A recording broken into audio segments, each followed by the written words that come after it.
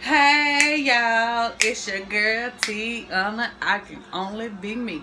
Hey, hey, hey, hey. Look, the light gonna turn off on me trying to steal my shine. Don't do me like that. Don't do me. Do not do me. Okay. It's trying to steal my shine, y'all. I'm happy today. Okay. So, welcome welcome welcome to all, to my channel to all my new subscribers and welcome back all my old subscribers y'all. I'm gonna show y'all how i do my cabbages. So let's go on and get to it because i don't want the video to be long you know because i told y'all i'd be having trouble getting these videos and stuff off my phone huh? I ain't got time for this phone. I gotta get me a camera okay? I really do. I gotta get me a camera. So you know if y'all want to help your girl out and get a camera then go ahead on. You know, the PO boxes in the description. You know, y'all can just send your girl something to help me out. You know. I'm just playing. I'm just playing, y'all. But I'm for real, if you want to now, I ain't gonna turn down no blessing, okay? Okay, y'all. So, what I have in this broth, right? This is the broth for me boiling the neck bones. And this all the liquid I'm to have. These cabbages to have some water today. Ain't to do the fried cabbages. Because my husband, he don't care too much for the fried cabbages. So, you know, I'm just catering to him today. You know, giving him what he like. Because cabbages is his favorite. So I'm giving what he liked. So anyway, in this water, I have some celery salt. I already put it in there, y'all. Because I thought I wasn't going to be able to do this part for y'all. Because, I, you know, I'm a connection and everything was acting up. And I couldn't upload video. Then my cable went out. And I was having all kind of problems. So I'm sorry, y'all. But I did season my water first with the celery salt. Black pepper. Onion powder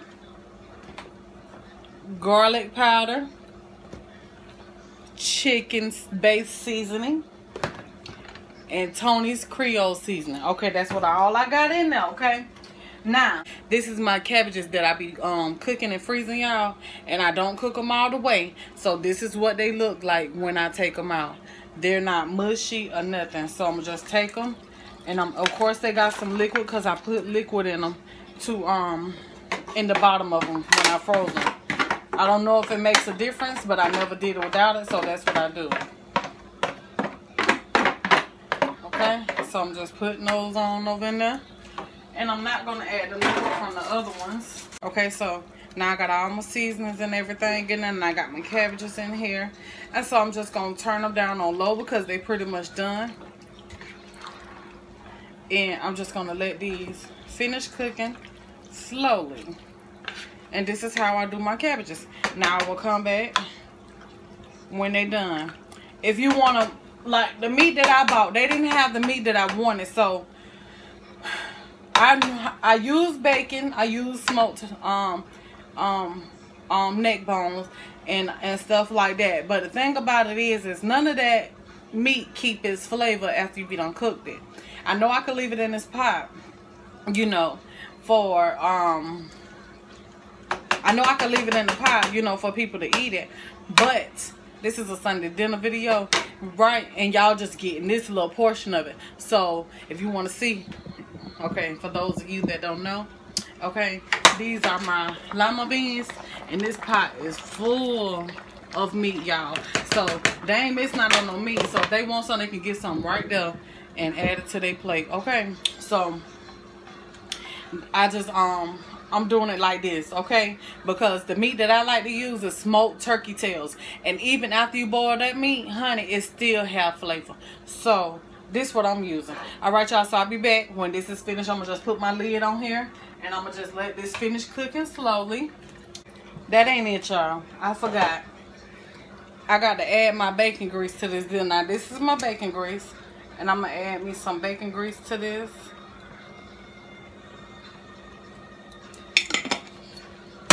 And then mix that in and that's it.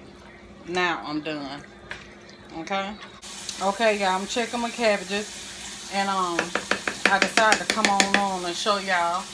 I added just a little bit more salt to this. And um just a little tap just a little sprinkle of sugar. Y'all know what you do when you cook greens and stuff. You add just that little sprinkle of sugar.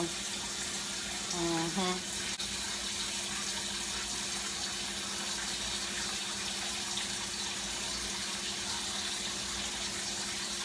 Oh, let me let y'all taste it. I blowed it off for you. Y'all see it? Got some? Okay, what does it taste like? It needs some more seasoning, you think? Oh, they taste good? Okay. Hold on, let me see. Mmm.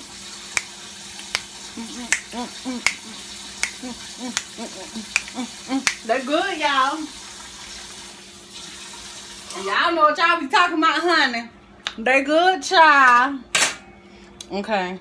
So, I'm to turn these off and let them sit back there because they are done. I told y'all it was already done from the get-go, so ain't no need of, you know, cooking them to a mush. So, put that lid on them and turn them off, okay? So now, that's it for the cabbages, all right, y'all? I want to thank each and every one of you guys for watching my video. I hope you learned something about my frozen cabbages and learned how to cook them or whatever and how to pretty much make some cabbages. There's different kind of ways that you can make cabbages. There isn't one particular way. I make my cabbages all different kind of ways, but this way in particular is how my husband like them. And if I would have had a different kind of the meat that I like, I would have left them in there instead of eating them, okay? But thank y'all for watching my video. This your girl tiana i can be me. Y'all be blessed okay? Be blessed be blessed be blessed. And don't forget before you leave to hit that subscribe button if you like this um this video okay? All right y'all